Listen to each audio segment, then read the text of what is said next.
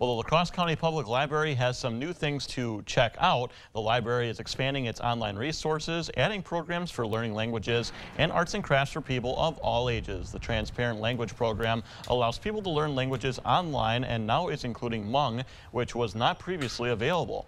They have also added digital media service called Hoopla, which lets you, which lets you borrow movies, music, audiobooks, and more.